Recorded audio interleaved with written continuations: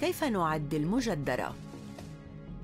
نحتاج إلى كوبين عدس مغسول ثلاثة أرباع كوب أرز منقوع رأسين بصل يابس مفروم نصف كوب زيت زيتون ربع ملعقة صغيرة كمون بصل أخضر ملح وفلفل حسب الرغبة في وعاء على النار نضع العدس ثم نضيف الماء ونطهو حتى يغلي وينضج العدس نضيف الأرز، الملح والفلفل حسب الرغبة، الكمون ونخلط المقادير جيداً.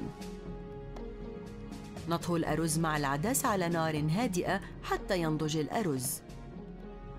نضع الزيت في مقلاة على النار ونضيف البصل ونطهو حتى يصبح ذهبي اللون. نضيف البصل المقلي إلى خليط العدس والأرز ونحرك المقادير جيداً.